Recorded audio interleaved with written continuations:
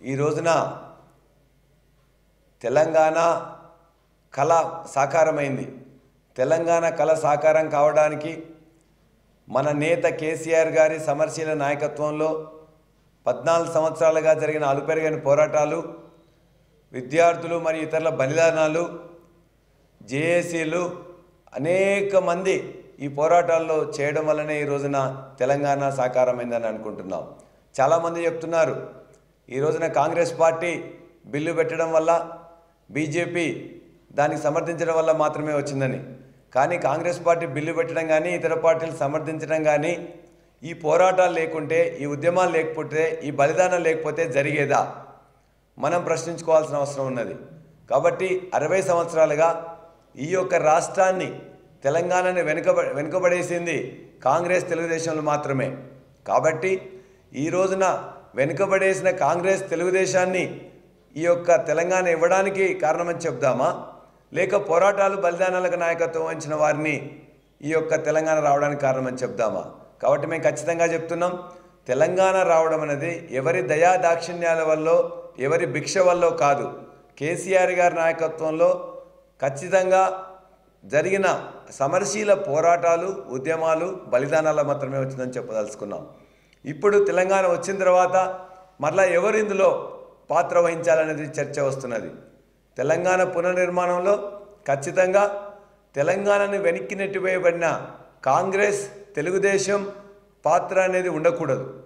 ఎందుకంటే తెలంగాణను తెలంగాణలో ఉన్న సమస్యలకు పరిష్కారం వాళ్ళు చూపించలేదు కాబట్టే తెలంగాణ ఉద్యమం వచ్చింది. ధ్వంసం చేసిన వారు నిర్మించలేరు.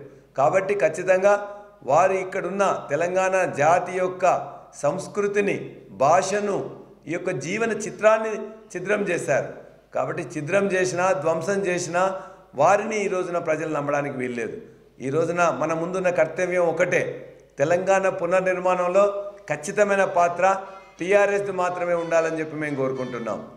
ముఖ్యంగా ఈ రోజున టీఆర్ఎస్ ఖచ్చితమైన ప్రణాళికతో ముందు మీ ముందుకు వచ్చింది ఒకటి చెప్పాలంటే నల్లగొండ జిల్లాకు సంబంధించి అరవై సంవత్సరాలైన ఫ్లోరైడ్ సమస్య తీర్చలేదంటే చెప్పాలంటే చాలా బాధాకరంగా ఉంది. అనేక మంది పిల్లలు వాళ్ళందరూ నడవలేక వాళ్ళ యొక్క తల్లులు తండ్రులు వాళ్ళ పిల్లల్ని ఈ రోజున గుంజాలకు కట్టేసి గుంజలకు కట్టేసి రాళ్ళకు కట్టేసి మంచాలకు కట్టేసి వాళ్ళ పనులకు వెళ్ళాల్సి వస్తుంది. ఈ యొక్క ఫ్లోరోసిస్ సమస్య తీర్చకపోవడానికి కారణం అరవై సంవత్సరాలకే దీన్ని పాలిస్తున్న కాంగ్రెస్ తెలుగుదేశంలోనే చెప్తున్నాం. అందుకే మేము ఖచ్చితంగా చెప్పదలుచుకున్నాం. వచ్చే ఐదు సంవత్సరాల్లో ప్రతి గడప గడపకు ఫ్లోరైడ్ రహిత మంచినీరు ఖచ్చితంగా ఇస్తామని చెప్పి. అదేవిధంగా రేపు సాగునీరు గురించి చూసుకున్నట్లయితే మన దగ్గర పులిచింతల ప్రాజెక్టు ఉన్నది.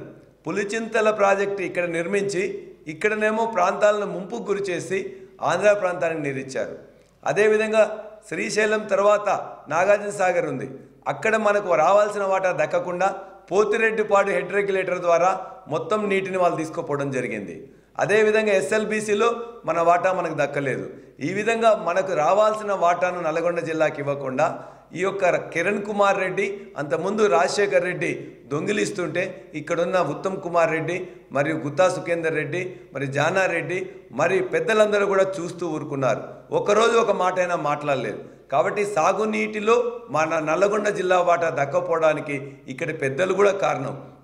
అందుకే మేము చెప్పదలుచుకున్నాం ఖచ్చితంగా వచ్చే ఐదు సంవత్సరాల ప్రణాళికలో మన సాగునీటి వాటాను దక్కించుకుంటామని ఏదైతే లిఫ్ట్లు ఈరోజు వర్క్ చేస్తున్నాయో ఆ లిఫ్ట్ల ప- వాటన్నిటిని మరమ్మత్తు చేసి వాటిని ఖచ్చితంగా ప్రభుత్వ అధీనంలోనే నడిపిస్తామని కూడా చెప్పదలుచుకున్నాం. అదేవిధంగా బోర్లలో నీళ్ళున్నా కూడా కరెంటు లేని పరిస్థితి. కాబట్టి వచ్చే రెండు సంవత్సరంలో ఖచ్చితంగా పూర్తి కరెంట్ ఇచ్చేసి ఆ యొక్క బోర్లలో ఉన్న వాటర్ ఖచ్చితంగా వచ్చినట్టు చేస్తాం. ఈ విధంగా చక్కటి ప్రణాళికతో ప్రతి ఎకరాకు సాగునీరు ఇచ్చే విధంగా మేము చర్యలు తీసుకుంటామని చెప్తున్నాం. మూడో మూడో విషయం చూసినట్లయితే గిరిజన తండాలు. ఈ రోజున గిరిజన తండాల్లో చాలామంది మనం గుత్తా సుఖేందర్ రెడ్డి గారు పార్లమెంట్ సభ్యునిగా ఉండి చెప్తున్నారు.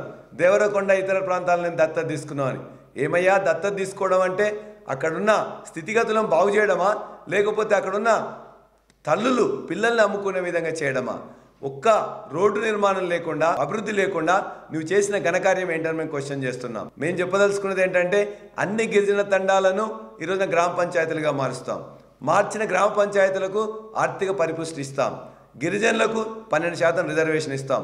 ఇప్పుడున్న దుర్భర పరిస్థితుల నుంచి వెళ్ళి వారిని బయట బయటపడేందుకు కృషి చేస్తామని చెప్తున్నాం. అదేవిధంగా మైనార్టీలకు కూడా ఇంతవరకు అందరూ కూడా ఐదో పది కోట్లో ఇరవై కోట్లో ఇస్తారు.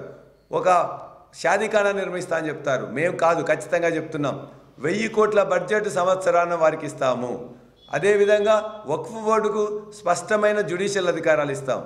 అదేవిధంగా ముస్లింలకు పన్నెండు శాతం రిజర్వేషన్తో పాటు వారికి కావలసిన వక్ఫ్ బోర్డు ఏదైతే ఆక్రమణకు గురైన భూములనియో వాటన్నిటిని కూడా మరలా స్వాధీనం చేసుకుంటాం. ఈ విధంగా స్పష్టమైన ప్రణాళికతో మైనార్టీ క్రిస్టియన్ ఇతర మైనార్టీలందరికీ కూడా ఖచ్చితంగా న్యాయం చేస్తామని చెప్తున్నాం. అదేవిధంగా దళితులకు చూసుకున్నట్లయితే దళితులకే కాకుండా దళితుల ఒక్కరి కోసమే యాభై వేల కోట్ల బడ్జెట్ని ఈ రోజున కేటాయించడం జరుగుతున్నది. చిన్న ఇల్లు ఒక ఒక్క ఒక్క రూమ్ ఇల్లు ఈ రోజున నిర్మించేసి చాలా గొప్పగా చెప్పుకుంటున్నాను మేము చెప్తున్నాం దళితులు ఇతర పేదలకు కూడా మూడు లక్షలతో రెండు బెడ్రూములు ఒక హాలు కిచెన్ ఉండే విధంగా ఖచ్చితంగా ఒక క్వాలిటీ ఇంటిని నూట ఇరవై గజాల్లో నిర్మించిస్తామని చెప్తున్నాం. అదేవిధంగా పింఛన్ల విషయానికి వచ్చినట్లయితే ఈ నెల రెండు వందల రూపాయలు ఇస్తున్నారు. ముష్టి వేస్తున్నట్టు వేస్తున్నారు. మేము ఖచ్చితంగా చెప్తున్నాం. వెయ్యి రూపాయలు. ఈ రోజున వృద్ధులకు కానీ వితంతులకు కానీ కనీసం వెయ్యి రూపాయలు ఉండాలని చెప్పి మేము భావించాం. వెయ్యి రూపాయల పింఛన్ ఇస్తాం. అదేవిధంగా వికలాంగులకు పదిహేను వందల రూపాయల పింఛన్ ఇస్తామనుకుంటున్నాం. కాబట్టి ఇది కాకుండా రైతుల విషయం చూసుకున్నట్లయితే లక్ష రూపాయలున్న రుణాన్ని మాఫీ చేస్తామని చెప్తున్నాం. ఇవన్నీ కూడా చేయడం సాధ్యమే. ఎందుకంటే ఈ రోజున కొత్త రాష్ట్రంలో మనకు కావాల్సిన బడ్జెట్ మిగులు బడ్జెట్తో మనం మొదలు పెడుతున్నాం. కాబట్టి రైతులకు సంబంధించిన మాఫీ కానీ ఇల్లు నిర్మాణం కానీ పింఛన్లు కానీ ఖచ్చితంగా మేము చేయగలమని చెప్తున్నాం. కాబట్టి మాకు స్పష్టమైన ప్రణాళికతో ఈ రోజున ప్రజల ముందుకు వెళ్తున్నాం. సమస్యలు తెలుసు ఉద్యమాలు తెలుసు పోరాటాలు తెలుసు. మాకు తెలియంది ఒకటే పైరవీలు చేయడం రాదు కాంట్రాక్టులు చేయడం రాదు విధంగా దోచుకోవడం రాదు తెలంగాణను లూటీ చేయడం రాదు. లూటీ చేసిన వారిని ఈ రోజున ఇక్కడి నుంచి తరిమి కొట్టాల్సిన అవసరం ఉన్నది. దోచుకున్న వారిని ఇక్కడి నుంచి వెళ్ళగొట్టాల్సిన పరిస్థితి ఉన్నది. ఈ రోజు ధ్వంసం చేసిన వారిని మీకు స్థానం లేదని చెప్పదలుచుకో చెప్పాల్సిన అవసరం ఉన్నది. కాబట్టి మేము మరొక్కసారి నల్లగొండ జిల్లా పార్లమెంటరీ నియోజకవర్గ ప్రజలకు విజ్ఞప్తి చేస్తున్నాను. తెరాస అభ్యర్థిగా ఈ రోజున మీ ముందుకు వస్తున్నాం. మనం ఈ రోజున తెలంగాణను పునర్నిర్మించుకోవాలంటే ఖచ్చితంగా కేసీఆర్ గారి నాయకత్వంలో టీఆర్ఎస్కే ఓటు వేయాల్సి వస్తుంది. కారు గుర్తుకే ఓటు వేయాల్సి వస్తుంది. అప్పుడే మన రాష్ట్రంలో మన పార్టీ ఉన్నట్లయితే మనం ఖచ్చితంగా నిలబడగలుగుతాం. మరలా సీమాంధ్ర పెత్తనం మన మీద ఉండకుండా పోతుంది. సోనియా గాంధీ కానీ మరి ఇతరుల పెత్తనం మన మీద ఉండకుండా పోతుంది. మన రాష్ట్రంలో మనకి అధికారం ఉన్నప్పుడే మన బడ్జెట్తో మనకు కావాల్సిన అభివృద్ధిని మనం సాధించుకోగలుగుతాం. కాబట్టి దయచేసి ప్రజలందరికీ మరొకసారి నేను విజ్ఞప్తి చేస్తున్నాను. ఖచ్చితంగా కారు గుర్తు మీద ఓటేయండి. పార్లమెంటుకి మన నన్ను పంపించండి.